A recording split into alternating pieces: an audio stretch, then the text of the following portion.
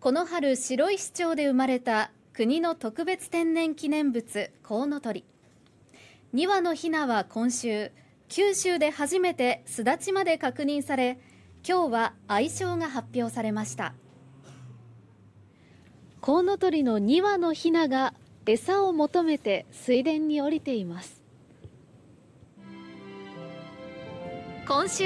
九州で初めてとなる巣立ちを迎えた2羽のコウノトリ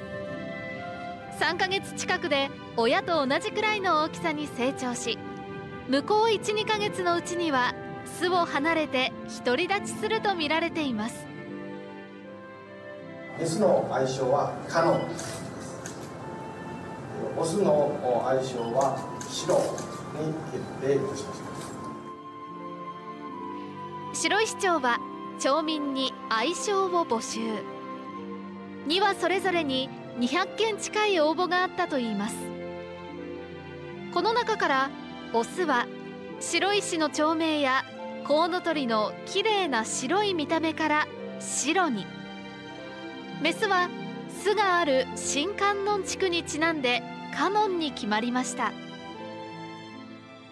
で自然環境と生息環境が良かったからあと白石に来てくれたんじゃないかなと。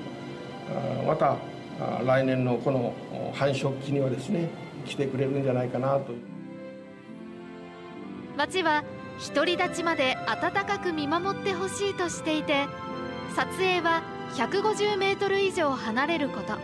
餌は与えないことなどを呼びかけています。